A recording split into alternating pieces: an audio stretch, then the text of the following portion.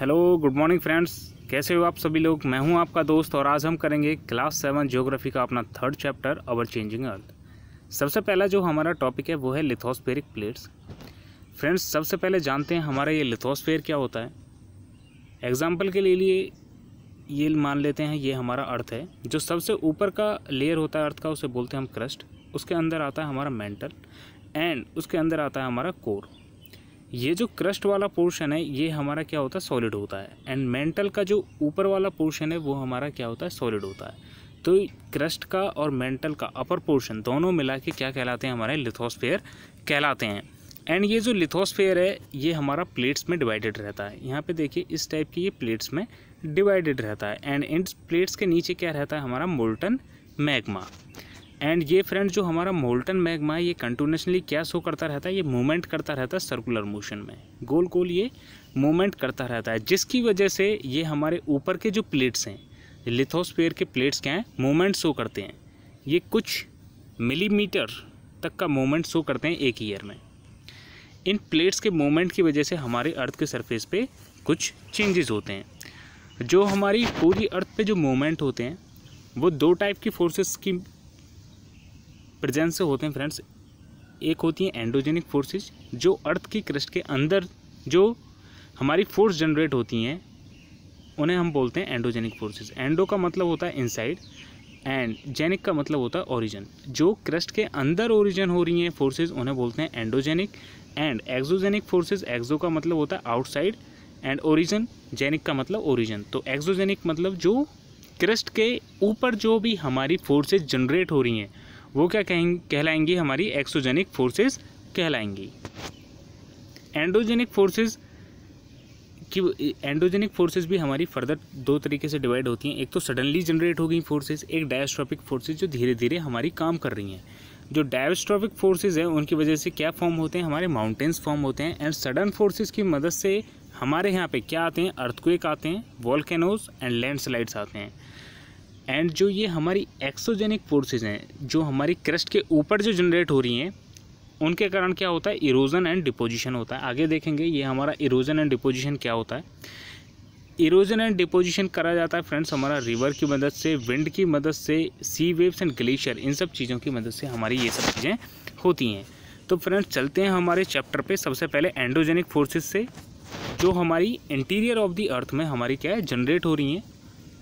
ये क्या है? सडन इनकी वजह से क्या होता है फ्रेंड्स हमारा सडन मूवमेंट होता है। जैसे कि अर्थक्वेक आ गया या फिर वॉल्केनो इरप्ट हो गया।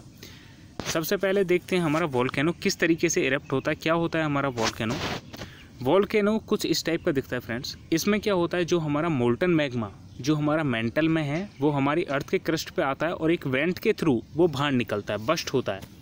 एंड ये जो बस्ट होने के बाद ये मैग्मा क्या है? चारों तरफ़ हमारा फैल जाता है। और ये जो वॉल्केनिक इरप्शन होता है, ये काफ़ी क्या होता है? सडन होता है। अनप्रडिक्टेबल होता है। एंड सेकेंड वन जो है फ्रेंड्स हमारा वो है हमारा अर्थक्वेक हमें पता है फ्रेंड्स हमें, हमने अभी पढ़ा कि जो हमारा लिथोस्पेयर की प्लेट्स हैं, वो क्या है? मूवमेंट शो करती हैं। और जब ये मूवमेंट शो करती हैं तो इनकी वजह से क्या होते हैं? वाइब्रेशन जनरेट होते हैं। तो प्लेट में, जो लिथोस्पेयर प्लेट में जहाँ पे भी मूवमेंट स्टार्ट होता है, उस जगह को कहा जाता है फोकस। फ्रेंड्स, यहाँ पे जो, जैसे कि इस इमेज में यहाँ पे जो मोमेंट स्टार्ट हुआ है, वो क्या हुआ है? यहाँ पे स्टार्ट हुआ है, ठीक है? यहाँ पे स्टार्ट हुआ है तो ये क्या है? हमारा फोकस है। एंड इस फोकस के जस्ट ऊपर जो हमारे अर्थ सरफेस पे जो पॉइंट होता है, अर्थ सरफेस पे जो पॉइंट होगा, उसे फ्रेंड्स हम बोलते हैं एपी सेंटर एंड इस एपी सेंटर से क्या है? हमारी वेव्स चारों तरफ़ फैलती हैं, ठीक है? सर्कुलर वेव्स हमारी चारों तरफ़ फैलती हैं, जिसकी वजह से क्या होता है, हमारे आसपास के एरिया में क्या है अर्थक्वेक आता है। तो अर्थक्वेक क्या हुआ फ्रेंड्स हमारा जो प्लेट की मूवमेंट की वजह से ये जनरेट होता है, जहाँ पे मूवमेंट स्टार्ट होता है, उसे बोलते हैं फोकस उसके जस्ट ऊपर जो, क्योंकि ये तो जहाँ पे प्लेट्स हैं प्लेट्स के अंदर कहीं पे मूवमेंट स्टार्ट होता है, नीचे। ठीक है, जहाँ पे स्टार्ट हुआ है, वो फोकस है। एंड जहाँ पे ऊपर अर्थ सरफेस पे जो पॉइंट है, उसके वर्टिकली जस्ट अपवर्ड उसे बोला जाएगा फ्रेंड्स हमारा एपी सेंटर ठीक है? ये जो वाइब्रेशन है, हमारे आउटसाइड की तरफ़ मूवमेंट करते हैं और काफ़ी ज़्यादा डैमेज मूव करते हैं। एंड ये जो अर्थ को एक है, ये साइंटिफिकली प्रिडिक्टेबल नहीं होता है कि हाँ भाई अर्थ को एक आने वाला है। तो इसके कुछ जो हमारे कॉमन पीपल्स के द्वारा जो मेथड अपनाए जाते हैं, वो क्या हैं? जो हमारा फ़िश है, वो पॉन्ड्स में क्या एजुटेशन शो करते, करने लग जाती हैं। मतलब इधर उधर बहुत तेज़ी से या फिर उनका जो बिहेवियर है, बहुत ज़्यादा उग्र हो जाता है। और जो स्नैक्स जो हैं, वो क्या है, बाहर आने लग जाते हैं, ठीक है? अर्थक्वेक प्रिपेडनेस मेथड्स अगर हमारे यहाँ पे फ्रेंड्स अगर अर्थक्वेक आ जाता है तो उससे बचने के लिए हमें क्या करना चाहिए? कोई सेफ़ स्पॉट ढूंढना चाहिए। जैसे हमारे किचन में जो स्लेट्स पड़ी होती हैं, ठीक है, उनके नीचे बैठ जाना चाहिए। वो हमें क्या है, किसी भी अनयूजल जो हमारा रूफ फॉल या फिर उस सब चीज़ें से हमें बचा लेगा। और हमें दूर रहना चाहिए जो भी फायर अप्लाइंसेस हैं, जहाँ पे भी आग लग सकती है, उस सब जगह से हमें दूर रहना चाहिए। और क्या हमें क्या अवेयरनेस फैलानी चाहिए। आपको पता है कि आपको क्या प्रिकॉशंस लेने हैं तो आपके आसपास जो लोग हैं, उनको भी आपको ये सब चीज़ें बतानी है। ताकि क्या है, जो हमारा ह्यूमन डैमेज है, उसे मिनिमाइज़ करा जा सके। जो अर्थक्वेक को जो मेज़र करा जाता है फ्रेंड्स कि किस रेंज का अर्थक्वेक आया है, उसे हम मेज़र करते हैं रिक्टर स्केल से। एंड रिक्टर स्केल से रिक्टर स्केल से हम इसे मेज़र करते हैं। एंड रिक्टर स्केल पे जो अगर 2.0 है तो वो क्या है अर्थक्वेक काफ़ी छोटा है। 5.0 से ज़्यादा है वो नॉर्मल है एंड 6.0 से ज़्यादा अगर उसकी रीडिंग आ रही है तो वो क्या है, एक स्ट्रॉन्ग अर्थक्वेक है एंड 7.0 से अगर ज़्यादा आता है तो वो एक क्या है हमारा मेजर अर्थक्वेक कहलाता है। ये तो हुआ फ्रेंड्स हमारा अर्थक्वेक और ये हमने अभी तक देखा जो इनसाइड और इनसाइड फोर्सेस की वजह से जो हमारा एक्टिविटीज़ हो रही थी। अब आगे बढ़ते हैं फ्रेंड्स जो हमारे मेजर लैंड फॉर्म्स हैं, जो हमारे लैंड फॉर्म्स हैं, वो एक्सटर्नल फोर्सेस की वजह से जनरेट होते हैं क्रिएट होते हैं। जो हमारे मेजर लैंड फॉर्म्स में जो हमें पढ़ना है, वो है हमारा लैंडस्केप जो है हमारा किन किन चीज़ों की वजह से वो वॉन आउट होता है। वॉन आउट का मतलब क्या है फ्रेंड्स जैसे कोई, यहाँ पे कोई प्ले ग्राउंड है या फिर यहाँ पे कोई मिट्टी है, मैं उसके ऊपर पानी अगर गेरूँगा वाटर अगर गेरूँगा तो वो मिट्टी क्या है? पानी के साथ बह जाएगी। तो वो क्या है, जो ऊपर की लेयर है, वो क्या है वॉन आउट हो गया मतलब वो क्या है, ख़राब हो गई है। ऐसे ही जब कोई कोई जगह है, ठीक है, मिट्टी है, वहाँ पे क्या हवा चलेगी तो वो मिट्टी हवा के साथ उड़ेगी। तो उसमें भी जो हमारा लैंड है, वो क्या वॉन आउट हो रहा है। तो ये जो जो लैंडस्केप वॉन आउट होता है, उसके दो प्रोसेस होते हैं फ्रेंड्स एक होता है वीदरिंग एंड सेकंड होता है फ्रेंड्स हमारा इरोजन वीदरिंग क्या होता है, जो रॉक्स का ब्रेक डाउन होता है, जो रॉक्स जो हैं हमारे टूटती हैं, चाहे वो एक दूसरे के ऊपर गिर के या किसी भी तरीके से अगर हमारा रॉक्स टूटते हैं अर्थ के सरफेस पे तो उसे क्या बोलते हैं हम? वीदरिंग बोलते हैं। एंड सेकंड वन इज़ है हमारा वो है इरोजन इरोजन हमने देखा जो ये इरोजन एजेंट्स है हमारे विंड एंड वाटर जो अभी मैंने एग्जांपल दिए कि लैंडस्केप किस तरीके से ख़राब होता है, वो क्या था? मेरा इरोजन था। ठीक है इरोजन क्या है? जो ऊपर का लेयर जो है हमारा, वो क्या वॉन आउट होता है, उसे ही हम क्या बोलते हैं? इरोजन बोलते हैं। और ये इरोजन किसकी वजह से होता है? वाटर विंड या किसी और चीज़ की वजह से भी ये हो सकता है। एंड ये जो इरोजन है, इसकी वजह से क्या होता है? लैंड फॉर्मेशन होता है। मान लीजिए ये रिवर्स क्या है? माउंटेन से आ रही है। ठीक है? ये माउंटेन है, यहाँ से क्या आ रही है? मेरी रिवर आ रही है। यहाँ से मेरी रिवर आ रही है तो फ्रेंड्स ये माउंटेन को क्या करेगी? इरोड करेगी। इरोड करेगी, उसकी जो मिट्टी होगी, उसकी जो सॉइल होगी, उसे अपने साथ लेके चलेगी। एंड जहाँ पे भी कोई लो एरिया आएगा लो एरिया आने पे उसे क्या है? वहाँ पे डिपॉजिट कर देगी। या फिर किसी एरिया में जाके ये फ्लड आ जाए तो फ्लड वाले रीजन में ये क्या है? उसे डिपॉजिट कर देगी। ठीक है? तो यही हम देखेंगे फ्रेंड्स आगे, जो हमारा वर्क ऑफ़ ए रिवर यानी कि रिवर क्या काम करती है, जब वो हमारी मूव करती है। सबसे पहले तो वो इरोड करती है फ्रेंड्स सॉइल को जहाँ से भी वो मूव करती है, वहाँ पे क्या है? इरोड करोगी। एंड इरोड करते हुए जब अचानक से कोई स्टीप हाइट आएगी हाइट आ जाएगा या फिर कोई स्टीप एंगल आ जाएगा या फिर स्टीप वैली आ जाएगी तो वो क्या क्रिएट करती है वहाँ पे? वाटरफॉल क्रिएट करती है इस टाइप से। देखिए फ्रेंड्स यहाँ से रिवर आ रही है एंड ये स्टीप क्या आ गया? मेरा डाउन आ गया, ठीक है? स्टीप वैली आ गई कोई तो ये यहाँ पर क्या फॉर्म हो जाएगा? हमारा वाटरफॉल्स अचानक से जहाँ से पानी काफ़ी हाइट पर नीचे गिरता है, उसे क्या बोलते हैं हम? वाटरफॉल्स हमारा बोलते हैं एंड जो वर्ल्ड का सबसे हाइएस्ट वाटरफॉल है, वो हमारा वेनेजुआला में है, जिसका नाम है एंजल फॉल्स, जो कि हमारा वेनेजुएला में लोकेटेड है और वेनेजुएला कंट्री कहाँ पे है? साउथ अमेरिका में। और जो दूसरे हमारे बॉर्डर पे लोकेटेड होने वाले कुछ वाटरफॉल्स की बात करें तो उसमें आता है हमारा नियाग्रा फॉल्स जो कि कनाडा और यूएसए के बॉर्डर पे हमारा लोकेटेड है। कनाडा और यूएसए कहाँ है फ्रेंड्स, हमारे नॉर्थ अमेरिका में लोकेटेड है। एंड सेकंड है हमारा जाम्बिया एंड जिम्बाब्वे के बॉर्डर में अफ्रीका पे, विक्टोरिया फॉल्स लोकेटेड है। एंड ये कंट्रीज़ कहाँ पे हैं? साउथ अफ्रीका में। तो आज आप एटलस खोल के देखिए कि ये countries North America South America and ये जो अफ्रीका है, ये कॉन्टिनेंट कहाँ पर हैं? एंड ये वाटरफॉल्स को लोकेट करने की कोशिश करिए। नाउ ये तो हुआ फ्रेंड्स हमारी रिवर्स जो हमारी वाटरफॉल क्रिएट करती है। एंड जब रिवर जो है हमारी मूव करती है तो फ्रेंड्स वो कुछ इस टाइप से मूव करती है। देखिए, इस टाइप से वो क्या गोल गोल गोल गोल गोल गोल मूवमेंट करती हुई, एक स्नेक की तरीके से वो क्या मूवमेंट करती है। एंड इसी मूवमेंट को क्या बोल दिया जाता है मियंडरिंग बोल दिया जाता है। एंड ये जो फॉर्म हो रहे हैं इनके, ये जो टर्न इन्हें बोल दिया जाता है meander okay second one is friends जब ये इस टाइप से मूव करती हैं ठीक है, इस टाइप से जब ये मूव करती हैं तो क्या होता है? मान लीजिए ये वाला जो एरिया है, ये क्या है? हमें पता है ये मिट्टी अपने साथ लेके आती है इरोड करती है डिपोजिट करती है। तो ये यहाँ पे भी क्या करती है? इरोज़न करती है।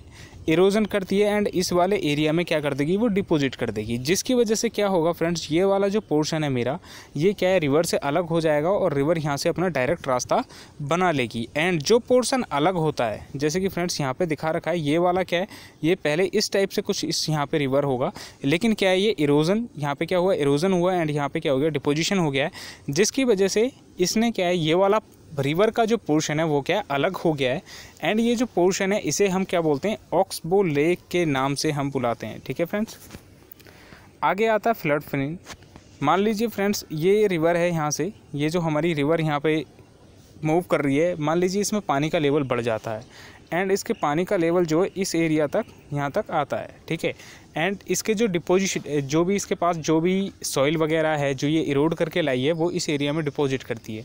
तो जहाँ तक इसका पानी जा सकता है, ठीक है वाटर लेवल अप होने के कारण उसे क्या कहा जाता है इसका? फ्लड प्लेन कहा जाता है। फ्लड प्लेन के बाद आते हैं लीव्स जहाँ पे भी ये फ्लड प्लेन्स होते हैं, जो भी रिवर्स के जो बैंक्स होते हैं, ठीक है, किनारे जो होते हैं, वो क्या होते हैं? हाई होते हैं, ठीक है। उन हाई बैंक किनारों को जो हम क्या बोलते हैं, उन्हें लीव्स बोलते हैं। आगे बात करें फ्रेंड्स डेल्टा। ये जो रिवर्स हैं हमारी, ये क्या है? रिवर ऐसा तो है नहीं कि रिवर जो है, कुछ रिवर्स जो हैं फ्रेंड्स, लैंड पे ख़त्म होती हैं, जो लेक फॉर्म करती हैं, वहाँ पे पानी अपना जमा करती हैं। कुछ रिवर्स क्या है, हमारी ओशंस में जाती हैं, एंड जब ये ओशंस में जाती हैं तो इनके पास जो भी डिपोजिशन है, सी फ्रेंड्स, यहाँ पर मान लीजिए ये रिवर आ रही है मेरी, एंड ये ये जो है, यहाँ पर ये ब्लू ब्लू, ये मेरा क्या है ओशन है। एंड ये जो रिवर मेरी यहाँ पर आ रही है, ये क्या है, जब ये अपने डिपोजिशन को, जब ये समुद्र में मिलने वाली, ओशन में जब ये मिलने वाली होती है, उससे पहले ये अपने यहाँ पे फैला देती है, ठीक है? एंड ये बहुत सारी छोटी छोटी डिस्ट्रीब्यूज में ये क्या है? डिस्ट्रीब्यूटीज़ में, ठीक है? डिस्ट्रीब्यूटरी में ये क्या है? डिवाइड हो जाएगी एंड ये जो फॉर्म होता है, ये ट्राइंगल फॉर्म में फॉर्म होता है एंड इसे ही हम क्या बोलते हैं? डेल्टा फॉर्म करते हैं, जहाँ पे रिवर क्या है? ओशन से पहले अपने जितने भी डिपोजिट जो भी उसके पास मटेरियल है, उसे क्या है? वहाँ पे वो डिपॉजिट करती है। एंड क्या डिस्ट्रीब्यूटरीज में डिवाइडेड हो जाती है।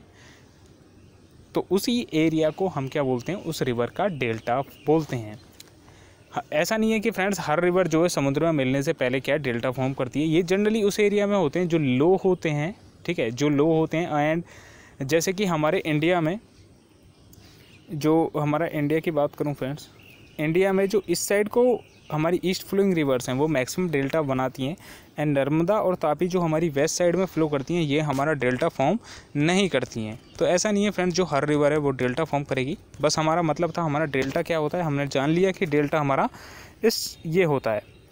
अब बात करते हैं सी वेव्स की वजह से फ्रेंड्स क्या क्या हमारे इफ़ेक्ट होते हैं क्या क्या चीज़ें उनकी वजह से बनती हैं। जब फ्रेंड्स सी वेव्स हमारी मूव करती हैं, ठीक है तो वो भी क्या है, हमारी इरोजन करती है। मान लीजिए वहाँ पे कोई हिल का कोई पोर्शन है या फिर लैंड का कोई पोर्शन है तो वो क्या करती है यहाँ पे? जैसे कि यहाँ पे दिखा रखा है सी वेव्स ने क्या है, यहाँ पे जो भी पोर्शन था लैंड का, उसे क्या ख़त्म कर दिया है और एक केव टाइप यहाँ पे बन गई है तो उसे क्या बोलते हैं, हम सी केव बोल देंगे। एंड ये सी केव उस जो भी हमारा लैंड का पोर्शन है, उसके आर पार हो जाए मतलब वहाँ से पानी निकलने लगे तो उसे क्या बोल देंगे? इस टाइप से अगर हमारा बन जाए तो उसे क्या बोल देंगे? सी आर्क बोल देंगे। एंड फ्रेंड हमारा जो लैंड है, उसके बीच में ये जो पोर्शन था, वहाँ पे कहीं पे रुफ गिर जाए और हमारा एक पोर्शन क्या है, बिल्कुल अलग हो जाए। लैंड का एक पोर्शन बिल्कुल अलग हो जाए। जिस टाइप से ये वाला पोर्शन क्या है, मेरा बिल्कुल अलग हो गया है। ये पहले इससे कनेक्टेड होगा, लेकिन यहाँ पे क्या है रूफ फॉल हो गया है, ठीक है? जैसे यहाँ पे केव है फ्रेंड्स ठीक है केव है, केव के ऊपर का ये वाला हिस्सा क्या है मेरा फॉल डाउन हो जाता है? तो ये वाला अलग पोर्शन जो हमारा बनेगा, इसे क्या बोलेंगे मैं? स्टैक बोलेंगे। यानी कि पानी में लैंड का एक पोर्शन खड़ा हुआ है, उसे क्या बोला जाएगा हमारा? स्टैक बोला जाएगा।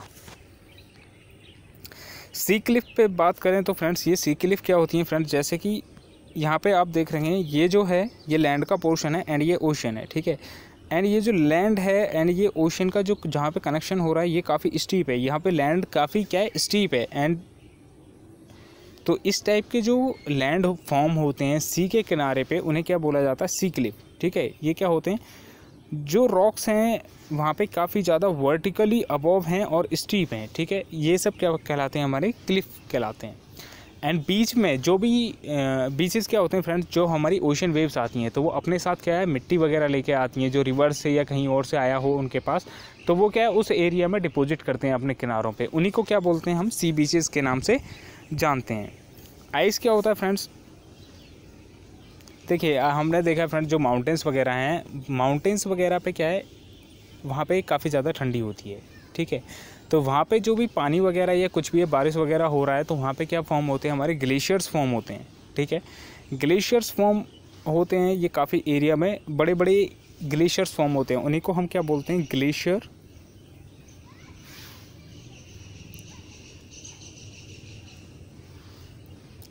उन्हें ग्लेशियर बोलते हैं। एंड ये जो ग्लेशियर है फ्रेंड्स ये जब पिघलते हैं या फिर स्लो मूवमेंट ये ग्लेशियर भी मूवमेंट करते हैं तो ये अपने साथ बड़े बड़े रॉक्स को स्मॉ और सिल्ट को ये अपने साथ कैरी आउट करते हैं और जिस किसी एरिया में ये डिपोजिट करते हैं। एंड जहाँ पे भी ग्लेशियर्स की वजह से इस टाइप से डिपोजिशन हो रहा है, उन्हीं को हम क्या बोलते हैं? ग्लेशियल मोरेंस के नाम से हम जानते हैं। आगे चलते हैं फ्रेंड्स वर्क ऑफ़ सैंड यानी कि मिट्टी के कारण क्या काम होता है हमारा? इसमें बात करते हैं हम। जब हमें पता है फ्रेंड्स जो हमारा विंड है, वो क्या है? एक एजेंट है हमारा इरोजन एंड डिपोजिशन का। ये क्या है? मिट्टी को लेके भी जाता है और ये क्या है? उस मिट्टी को डिपोजिट भी करता है। लेके कैसे जाता है फ्रेंड्स जब ये विंड तेज़ चलेगा तो उसके साथ क्या है? मिट्टी ऑटोमेटिकली जाएगी। एंड मान लीजिए कहीं पे जाके विंड क्या है? रुक गई तो वहाँ पे क्या है? मिट्टी क्या हो जाएगी? हमारी जो सॉइल है, वो क्या हो जाएगी? हमारी डिपॉजिट हो जाएगी। एंड जनरली ये क्या है? जो हमारी किस टाइप के रॉक्स बनाते हैं? मशरूम रॉक्स मशरूम रॉक्स क्या होता है फ्रेंड्स इनका जो बेस होता है, वो काफ़ी कम होता है एंड इनकी जो हाइट होती है, वो काफ़ी ज़्यादा होती है क्योंकि जो इरोजन होता है ना विंड के कारण, वो इरोजन लोअर पोर्शन में ज़्यादा होता है तो लोअर साइड से जो हमारा रॉक्स का जो लोअर पोर्शन है, वो क्या इरोड हो जाता है एंड ऊपर का पोर्शन हमारा क्या है, काफ़ी ज़्यादा बड़ा रहता है। तो किस टाइप की रॉक्स फॉर्म होती है? मशरूम टाइप की रॉक्स ये फॉर्म कर देते हैं। एंड फ्रेंड्स डेजर्ट एरियाज़ में क्या होता है? ये अपने साथ मिट्टी को लिफ्ट करते हैं। लिफ्ट करने के बाद जहाँ पे भी विंड हमारी रुकती है, वो वहाँ पे क्या है, डिपॉजिट कर देती है। एंड ये कंटिन्यूसली चलता रहता है और इसकी वजह से हमारे क्या है, सैंड ड्यून हमारे क्या होते हैं, फॉर्म होते हैं। ये देखिए फ्रेंड्स, जैसे कि यहाँ पे ये दिखा रखे हैं, ये मिट्टी के बड़े बड़े टीले। तो इन्हीं को क्या बोला जाता है, सैंड ड्यून्स बोला जाता है। कभी कभी क्या होता है फ्रेंड्स, कोई डेजर्ट एरिया है एंड वहाँ पे डेजर्ट एरिया की वजह से क्या हो रहा है? वहाँ पे जो मिट्टी है, वो काफ़ी दूर तक जो मिट्टी के जो ग्रेन्स हैं, उन्हें क्या काफ़ी दूर तक कैरी आउट कर रही है। एंड कैरी आउट करने के बाद वो उसे बहुत दूर किसी एरिया में लार्ज एरिया में क्या है? वो उसे डिपॉजिट कर दे रही है। और उन एरियाज़ में जहाँ पे वो डिपॉजिट करती है, उन्हीं को कहा जाता है लोएस ठीक है? सबसे बड़े जो लोएस जो हमारे मिलते हैं, वो हमें चाइना में मिलते हैं। ये तो था फ्रेंड्स हमारा जो थ्योरेटिकल पार्ट था इस चैप्टर का। अब बात करते हैं हमारी एक्सरसाइज पे चलते हैं फ्रेंड्स इस चैप्टर की। जो हमारा एक्सरसाइज का सबसे पहला क्वेश्चन है वो है friends why do plates move plate हमारी मूवमेंट क्यों शो करती हैं? इन, इसका रीज़न है फ्रेंड जो मेंटल में जो हमारा मैगमा है, वो क्या सर्कुलर मोशन में क्या मूव करता रहता है? जिसकी वजह से ऊपर की प्लेट जो है, वो भी उसके साथ मूवमेंट शो करती है। What are the exogenic and endogenic forces इनके बारे में हमने देख लिया जो एक्सो मतलब कि जो बाहर सरफेस के ऊपर एंड एंडो मतलब कि क्रस्ट के जो नीचे हमारी फॉर्म हो रही हैं। वाट इज़ इरोजन इरोजन क्या होता है? वियरिंग आउट ऑफ़ सर्फेस होता है फ्रेंड्स वाटर फ्लड प्लेन्स जहाँ पे भी रिवर्स की क्या ओवरफ्लो होने के कारण जो भी एरिया है, जहाँ पे फ्लड आई है, उसकी वजह से क्या है, वहाँ पे जो, जहाँ पे भी उसका पानी जिस एरिया तक वहाँ पे पहुँचता है, वो क्या है, उसका फ्लड प्लेन है। सैंड ड्यून्स क्या होते हैं फ्रेंड्स जो हमारी जो एयर है, जो विंड है, वो अपने साथ क्या है, मिट्टी को लेके जा रही है। एंड जहाँ पे भी सेटल डाउन कर रही है, वहाँ पे क्या फॉर्म कर रही है वो? सैंड ड्यून्स फॉर्म करती है। हाउ और बीचेस फॉर्म बीचेस कैसे फॉर्म्ड होते हैं? जी जब सी वेव्स किनारे पे आती हैं तो उनके पास जो भी चीज़ें होती है, मिट्टी वगैरह, वो सब क्या अपने किनारे पर डाल देती है, जिसकी वजह से वहाँ पर क्या है सी बीचेस फॉर्म होते हैं।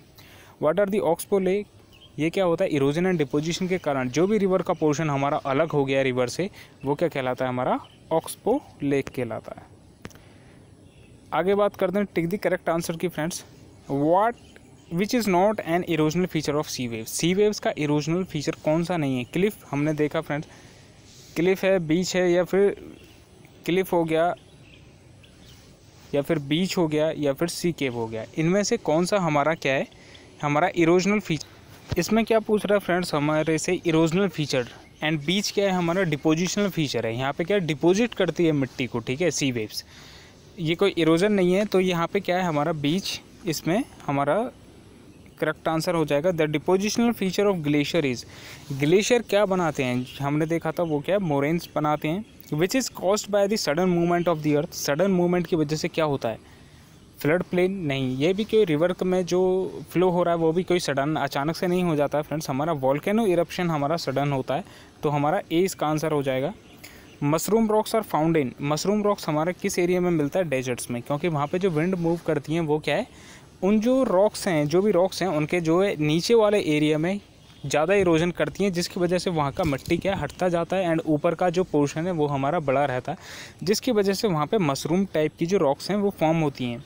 ऑक्सबो लेक्स और कहाँ पे मिलती हैं? रिवर वैली में. ऑक्सबो लेक्स क्या है? रिवर से रिलेटेड है तो ये हमारी रिवर वैली में ही फॉर्म होगी. मैच द फॉलोइंग पे बात करें फ्रेंड्स हम अगर हम बात करते हैं फ्रेंड्स मैच द फॉलोइंग की। ग्लेशियर्स क्या होते हैं फ्रेंड्स हमारा शीशोर होते हैं, नहीं होते, मशरूम रॉक नहीं नहीं river of ice yes glaciers हमारे क्या होते हैं? रिवर ऑफ़ आइस होते हैं। मियंडर मियंडर हमारा सी से कुछ लेना देना नहीं, मशरूम से कुछ लेना देना नहीं मियंडर का लेना देना है रिवर से ओके बीच बीच क्या हो जाएगा फ्रेंड्स हमारा शी शोर है यस सी का किनारा है, शोर मतलब किनारा। And sand dunes sand dunes हमें फ्रेंड्स सैंड ड्यून्स तो हमारे सिर्फ़ डेजर्ट से ही रिलेटेड होगा। वाटरफॉल वाटरफॉल कहाँ पे फ्रेंड सी फ्रेंड्स वाटरफॉल हमारा कहाँ पे फॉर्म होता है? ये आ रही है रिवर मेरी, किसी हाइट से, इसे नीचे कितना है? अगर मान लीजिए ये वाला रॉक क्या है, मेरा सॉफ्ट है तो रिवर क्या इसे कट करता रहेगा? तो वहाँ पर वाटरफॉल क्रिएट नहीं होगा। इसके लिए ज़रूरी क्या है फ्रेंड्स यहाँ पे क्या है, हमारा हार्ड रॉक होना चाहिए। उस हार्ड रॉक को बोलते हैं हार्ड बेड रॉक तो हमारे वाटरफॉल जो कहाँ पे क्रिएट होंगे, जहाँ पे कि मेरा हार्ड बेड रॉक हमारा प्रजेंट है।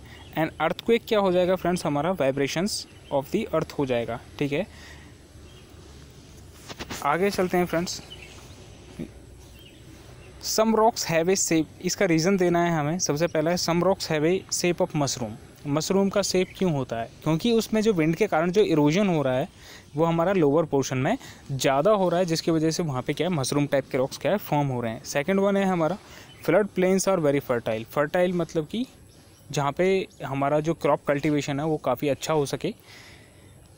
फ्लड प्लेन्स में क्या आता है फ्रेंड्स, जो रिवर है वो माउंटेन से मिट्टी काट के लेके आ रही है एंड वो जो मिट्टी है वो काफ़ी फर्टाइल होती है। जब फ्लड आती है तो वो मिट्टी बाहर वहाँ पर चली जाती है, जिसकी वजह से जहाँ पर वो फर्टाइल मिट्टी गई, वहाँ पर क्या है फर्टाइल हो जाएगा।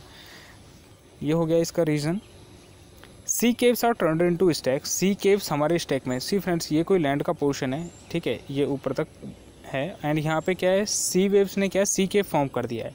एंड ये सी केव क्या है, बड़ा होता जा रहा है, बड़ा होता जा रहा है एंड फाइनली ये ऊपर का जो रूफ है, वो हमारा टूट गया है। तो इससे क्या है, एक लैंड का पोर्शन क्या है, पूरा अलग हो जाएगा। तो इससे क्या हमारा सी स्टैक हमारा बन जाएगा। स्टैक फॉर्मेशन हो गया। मान लीजिए, ये मेरा पूरा लैंड का पोर्शन है, ठीक है? एंड यहाँ पे केव है। और क्या होता है, ये केव बड़ा ऊपर ऊपर जाता हुआ मेरा ये वाला पोर्शन को, ये क्या है, बिल्कुल अलग कर देती है इस पोर्शन को। तो इससे क्या फॉर्म हो गया हमारा? सी स्टैक फॉर्म हो गया है ओके अगला जो है हमारा building collapse due to earthquake हमारे जो बिल्डिंग है, वो कोलैप्स क्यों होती है अर्थक्वेक की? हमें पता है फ्रेंड जब अर्थक्वेक आता है तो उसमें से क्या निकलती हैं वेव्स निकलती हैं ओके जो हमारा अर्थक्वेक आता है तो उसमें से क्या निकलती हैं, हमारी वेव्स निकलती हैं। अब फ्रेंड्स आप किसी क्लॉथ को पकड़िए और उसे अचानक से झटकिए, ठीक है? तो उस पूरे कपड़े में क्या वेव्स मूव करती हैं? इसी तरीके से जब अर्थ के सरफेस पे जो मूव यानी कि जो वेव्स आती हैं, उसकी वजह से अर्थ के सरफेस पे जो भी बॉडी है, जो भी बिल्डिंग है या कुछ भी चीज़ है, वो क्या मूवमेंट शो करेगी? ठीक है, जब बिल्डिंग मूवमेंट शो करती है तो उसका जो वॉल है या रूफ है, वो क्या डिस्प्लेस हो जाती हैं एक दूसरे से एंड जो हमारा बिल्डिंग है, वो क्या कोलैप्स हो जाती है। ये है इसका रीज़न फ्रेंड्स आई होप है आपको इस चैप्टर में मज़ा आया होगा। अगर आपको मज़ा आता है फ्रेंड्स अच्छा लगता है इस तरीके से पढ़ने से तो इसी तरीके से हमारे चैनल को मोटिवेट करते रहिए। Thank you thank you very much friends